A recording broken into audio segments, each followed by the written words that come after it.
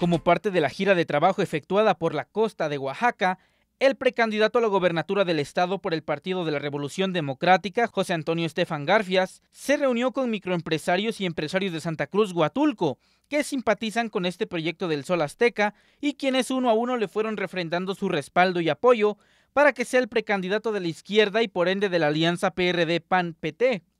En cada una de las intervenciones, las y los invitados destacaron el crecimiento que ha tenido la campaña que inició hace apenas unos días Pepe Toño, quien es de acuerdo a las encuestas presentadas hasta el momento es el precandidato ganador, ello a pesar del poco tiempo que tiene de haberse iniciado en esta contienda democrática. Sabemos de tu entrega por nuestro Oaxaca querido, sabemos que eres un hombre recto, honesto, que ha dedicado su vida al servicio público, a hacer una política diferente, una política de entrega encaminada hacia el bien común de la ciudadanía. Creemos en lo que dices, sabes y puedes manifestaron las y los microempresarios y empresarios costeños. En este encuentro se tocó un tema fundamental para la vida de las y los guatulqueños, el mejoramiento e impulso de la economía, turismo e inversión que genere empleos para el progreso de las y los ciudadanos, la conectividad, educación, salud, seguridad e infraestructura básica y carretera. Cabe destacar que como parte de su labor, Pepe Toño tuvo la gran oportunidad de colaborar para defender y detener la matanza de la tortuga golfina,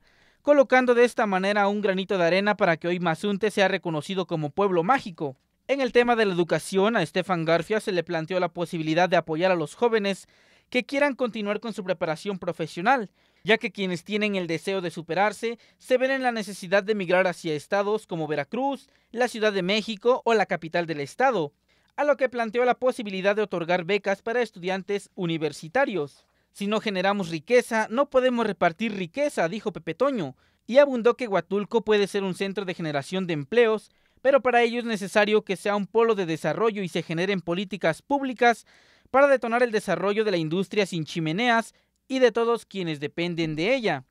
Finalizó diciendo que es tiempo de cambiar el rumbo y de mejorar el futuro de las y los oaxaqueños, y lo haremos sembrando la semilla del surco de la democracia para ayudar a quien menos tiene, pero al mismo tiempo coadyuvando para que las y los inversionistas generen empleos e inviertan en la entidad.